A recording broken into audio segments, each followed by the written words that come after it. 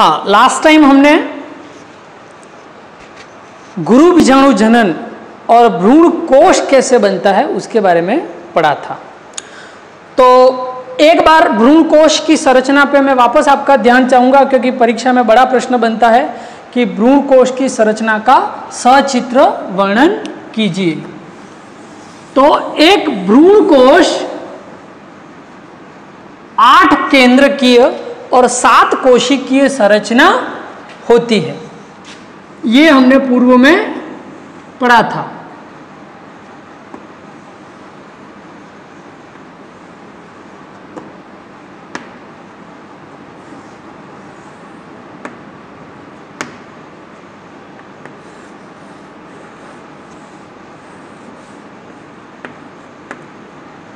हम्म।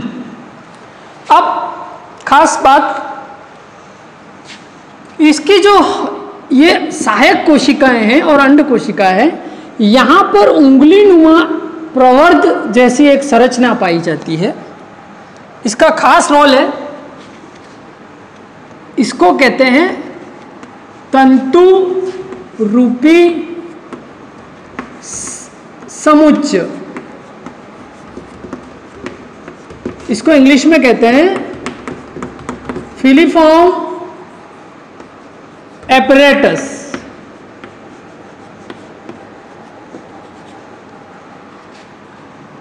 चलिए, ये तो हमने पढ़ाई था ये क्या है? अंड कोशिका जिसको इंग्लिश में कहते हैं एग सेल ये दोनों, ये क्या है? सिनर्जी जिसको सहायक कोशिका कहते हैं। नाम, अब ये। इसका नाम है सेंट्रल सेल केंद्रीय कोशिका। इसका एक और नाम है। इसका नाम है प्राथमिक भ्रूण पोष मात्र कोशिका। क्यों? क्योंकि यही वो रचना है, आगे पढ़ेंगे, जिससे भ्रूण पोष का निर्माण होता है। और ये जो तीनों कोशिकाएँ हैं, इनको कहते हैं एंटीपोडल सेल। या प्रतिमुखी, या इसको कभी कभी किसी पुस्तक में प्रतिव्यासांत कोशिकाएँ नाम भी लिखा हुआ पाया जाता है। अब ये जो सेवन सेल और एट न्यूक्लियस वाली स्टैंडर्ड जो स्ट्रक्चर है, इस प्रकार का भ्रूण कोश है, उसका खास नाम है। इसका नाम है पॉलीगोनम। पॉलीगोनम प्रकार का भ्रूण कोश तो हमने जो स्टैंडर्ड पढ़ा है that is polygonum type of embryo sac तो परीक्षा में कभी कभी ऐसा शब्द भी आ जाता है कि पॉलीगोनम प्रकार के भ्रूण कोश की संरचना का सचित्र वर्णन कीजिए तो आपको कंफ्यूज नहीं होना है। ये सात कोशिकीय और आठ केंद्र की जो संरचना है, उसी को हम कहते हैं पॉलीगोनम प्रकार का भ्रूण कोश अब आगे बहुत सारे अलग अलग प्रकार हैं एलियम टाइप एंडीमियोन टाइप जिसमें केंद्रकों की संख्या अलग होती है, कोशिकाओं की संख्या अलग होती है। तो इतना डिटेल्ड हमारे सिलेबस में नहीं है, फिर भी आपको कुछ पीडीएफ फ़ाइल में डायग्राम के माध्यम से भेजूँगा, आप समझ पाओगे। अभी जब हम हमारा जो अगला टॉपिक है, उस पर फोकस करते हैं, और वो है निषेचन फर्टिलाइजेशन आज का हमारा मुख्य टॉपिक यही है तो ये स्क्रीनशॉट आपने पहले भी ये डायग्राम बनाया था।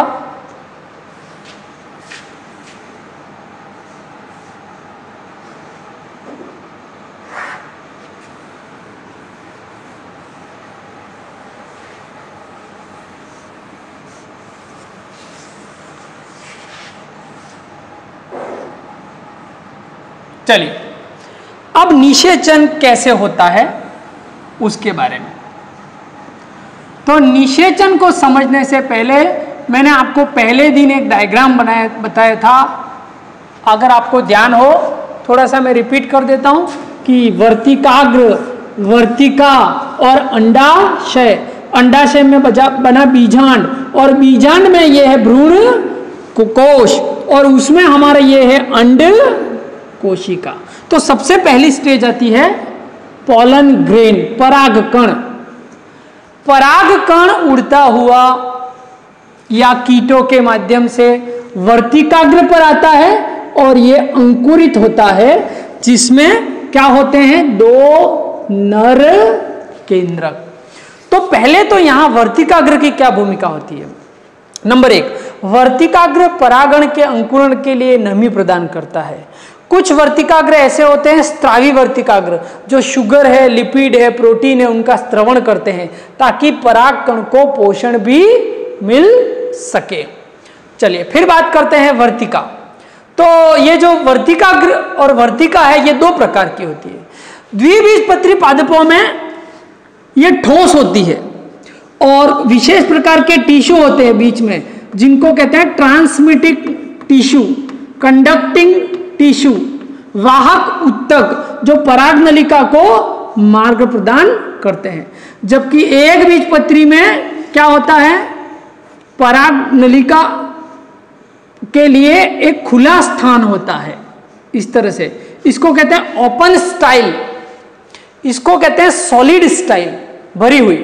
और इसको कहते हैं ओपन ओपन होगी तो सीधा स्थान मिल जाएगा पराग नलिका को। और आ, अगर ये होगी तो कुछ रसायनों के द्वारा इसको गलाने की आवश्यकता होगी। अब यहाँ पर एक खास बात। एक मिनट, लाइट चली गई है, मैं थोड़ा सा दरवाज़ा खोल दूँ? या दिख रहा है शायद आपको? दिख रहा है। चलिए। क्या किसी भी जाति के पौधे के, पुष्प के वर्तिकाग्र पर किसी भी जाति का परागण आ गया तो अंकुरित होगा? नहीं होगा। यहीं पर एक शब्द आता है कॉम्पेटिबिलिटी कॉम्पेटिबिलिटी या इसको कहते हैं रिजेक्शन रिएक्शन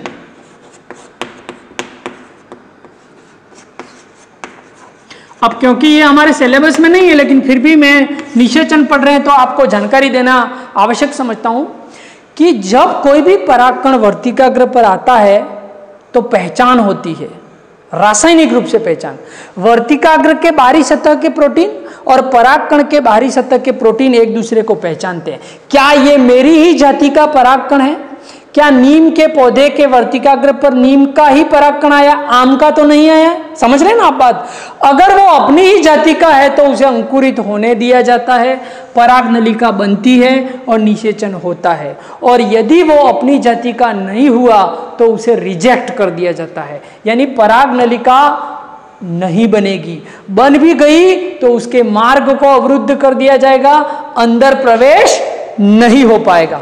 एक मिनट, मैं दरवाज़ा खोल देता हूँ, थोड़ी सी लाइट मुझे कम लग रही है।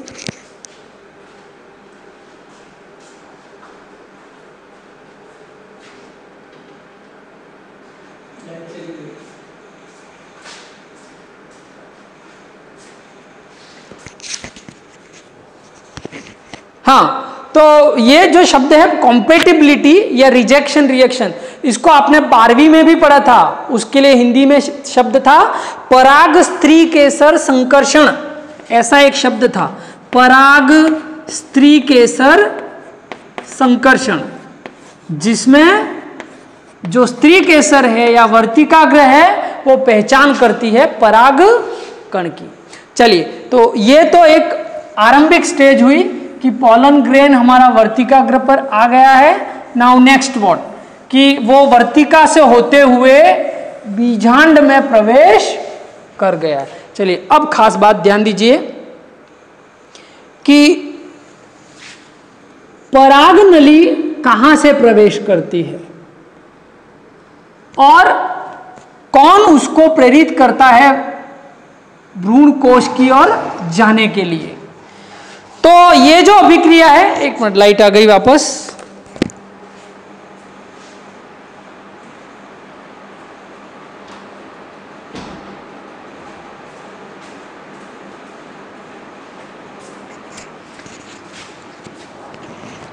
हाँ जो पराग नली है, वो सर्वप्रथम तंतु रूपी समुच्च के नज़दीक प्रवेश करती है।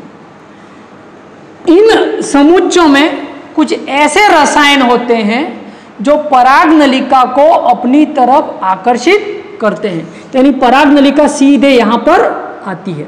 फिर पराग नलिका प्रवेश करती है। इन सहायक कोशिकाओं से होते हुए किसी एक, और जिसमें से होकर जानी है, वो पहले से ही वो सहायक कोशिका नष्ट होने लगती है, ताकि इससे भी कुछ ऐसे रसायन निकले जो क्या कर सकें? जो पराग नलिका को अपनी तरफ़ आकर्षित कर सके। चलिए, अब पराग नलिका आ चुकी है। अब खास बात यह है कि पराग नलिका कहाँ कहीं से भी आती है, लेकिन उसका प्रवेश जो है, वो हमेशा यहीं से होता है। आगे हम पढ़ेंगे, मध्य से भी प्रवेश करती है। उसके कुछ नाम है टेक्निकल टर्म उसको हम आगे पढ़ेंगे। लेकिन अभी कि ये पराग नलिका अंदर प्रवेश कर चुकी है। अब हमने पढ़ा था कि इस पराग नलिका में क्या है? दो नर केंद्रक दो नर युग्मक है। तो ये दोनों नर युग्मक पराग नलिका से मुक्त कर दिए जाते हैं। अब इसमें से एक नर केंद्रक तो जाके मिलता है अंड कोशिका से, जिससे बन जाता है युग्मनज जैगोट और दूसरा नर केंद्रक मिलता है केंद्रीय कोशिका से जिससे एक त्रिकेंद्र की रचना बनती है, जिसको कहते हैं भ्रूण कोश मात्र कोशिका। तो यहाँ पर दो घटनाएँ हो रही है, ध्यान देना। नंबर एक, हम कहेंगे प्रथम नर केंद्रक प्लस अंड कोशिका इन दोनों के मिलने से क्या बना? युग्मनज, जिसको इंग्लिश में क्या कहते हैं? जायगोट। और ये जो अभिक्रिया है, इसको कहते हैं युग्मक संलयन। और निषेचन इसी को कहते हैं, नर और मादा युग्मकों के संलयन को। तो ये जो पहली अभिक्रिया है, वो युग्मक संलयन की है, जिसको कहते हैं गैमेटिक फ्यूजन। नाउ अब दूसरी जो अभिक्रिया है, उसका नाम है त्रिसंलयन। अब त्रिसंलयन, जिसको इंग्लिश में कहते हैं ट्रिपल फ्यूजन अब ट्रिपल फ्यूजन क्यों कहते हैं? क्योंकि यहाँ तीन केंद्रक मिलते हैं। द्वितीय नर केंद्रक या नर युग्मक। आप इसे केंद्रक कहें या युग्मक प्लस केंद्रीय, इसको कभी कभी ध्रुवीय कोशिका भी कहते हैं। केंद्रीय कोशिका। और इससे क्या बनता है? भ्रूण पोष या इससे अभी जो बनता है, बाद में भ्रूणपोष बनता है, प्राथमिक भ्रूणपोष मात्र कोशिका। Endosperm primary endosperm mother cell primary endosperm mother cell चलिए, अब ध्यान देना। ये भी संलयन है, ये भी संलयन है फ्यूजन है। ये भी निषेचन है और ये भी निषेचन है। इसका मतलब यहाँ निषेचन की घटना दो बार होती है। और इसी घटना को कहते हैं द्वि निषेचन डबल फर्टिलाइजेशन इंपॉर्टेंट तो द्विनिषेचन या डबल फर्टिलाइजेशन क्या है? एक बार युग्मक संलयन और दूसरी बार त्रि संलयन डबल फर्टिलाइजेशन इसकी खोज की थी एस जी नावास्चिन नाम के वैज्ञानिक थे, उन्होंने खोज की थी। फ्रिटिलेरिया में की थी कभी कभी ये भी पूछा जाता है। एस जी नावास्चिन इन्होंने इसकी खोज की। तो परीक्षा में अक्सर डबल फर्टिलाइजेशन पे प्रश्न बनता ही है। ये मोस्ट इंपॉर्टेंट है, बड़ा प्रश्न बनता है इसको गंभीरता से लेना। चलिए, अब कुछ खास बात कि इस द्विनिषेचन का महत्व क्या है? क्या महत्व है समझना। देखिए, यहाँ तो बन गया युग्मनज ये दोनों मिल गए और बन गया भ्रूण। ये तीनों केंद्रक मिल जाएँगे और बन गएगा भ्रूण पोष तो आगे क्या होता है कि ये जो भ्रूण है, वो लंबा होकर इसमें धस जाता है और इस भ्रूण पोष से इस भ्रूण को पोषण मिलता है। यानी भ्रूण के पोषण की समकालीन व्यवस्था है ये। समकालीन, यानी भ्रूण जैसे ही बना, भ्रूण पोष बन गया एंडोस्पर्म बन गया, ताकि इसको पोषण मिलता रहे। दूसरा, ये त्रिकेंद्र की है। तो जो त्रिकेंद्र की उत्तक है, उसमें पोषण की मात्रा ज़्यादा होती है। जिम्नोस्पर्म में ऐसा नहीं होता। जिम्नोस्पर्म में भ्रूण पोष या एंडोस्पर्म, नंबर एक, निषेचन से पहले बनता है। नंबर दो, ये हेप्लॉइड होता है। ट्रिप्लॉइड नहीं होता। ये ट्रिप्लॉइड है एंडोस्पर्म। त्रिगुणित है। जबकि जिम्नोस्पर्म में एक गुणित है।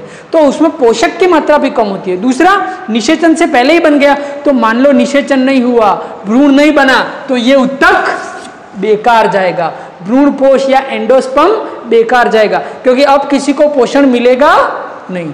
इसीलिए एंजियोस्पर्म में द्विनिषेचन का विकास हुआ। दोनों प्रक्रिया साथ साथ होती है। भ्रूण भी बनता है, पोषण भी मिलता है। और ट्रिप्लोइड एंडोस्पर्म बनता है, त्रिगुणित भ्रूण पोष बनता है तो उसमें पोषक की मात्रा भी ज़्यादा होती है। तो कभी कभार परीक्षा में ऐसा प्रश्न भी बनता है कि द्विनिषेचन का महत्व बताइए तो भी आपको ये बिंदु ध्यान में होना चाहिए। चलिए, अब आगे कुछ पॉइंट्स है, निषेचन से संबंधित, उसको हम अगले वीडियो में देखेंगे। हाँ ये कुछ टेक्निकल टर्म जो हैं कि पराग नलिका भ्रूण पोष में कहाँ से प्रवेश करती है? तो तीन प्रकार हैं, हिंदी में कहते हैं निभागीय बीजांड द्वारीय और मध्य प्रवेश इसको मैं समझा देता हूँ। मान लो ये भ्रूण कोश है। सॉरी भ्रूण कोश, ये अंडकोशिका और ये प्रतिमुखी कोशिका। तो तीन कंडीशन है। बीजांड द्वारीय प्रवेश। यदि पराग नलिका बीजांड द्वार से प्रवेश करती है तो उसको कहते हैं बीजांड द्वारीय प्रवेश। इसको इंग्लिश में कहते हैं पोरोगेमी। पोरोगेमी। बीजांड द्वारी प्रवेश। ठीक है? चलिए, इसका उल्टा, यदि पराग नलिका जो है वो निभागीय सिरे से प्रवेश करती है। तो उसको कहते हैं कैलेजोगेमी। यानी निभाग वाला सिरा किस तरफ़ होता है? ये जो प्रति व्यासांत कोशिकाएँ यहाँ से प्रवेश करती है। तो उसको कहते हैं निभागीय प्रवेश, कैलेजोगेमी। और एक दूसरी, तीसरी अवस्था है कि यदि पराग नलिका मध्य से प्रवेश करे तो उसको कहते हैं मीजोगेमी। इसको कहते हैं कैलेजो गेमी। ठीक है? तो ये तीन प्रकार है। लेकिन एक बात ध्यान रखना, कहीं से भी पराग नलिका जाए, वो अल्टीमेटली प्रवेश तो कहाँ से करेगी? अंड कोशिका वाले या सहायक कोशिका वाले मार्ग से ही अंदर प्रवेश करेगी। और वहाँ जाकर ये फटेगी। दो नर युग्मक बाहर आएँगे और ये आगे वाली प्रक्रिया संपन्न होगी। चलिए।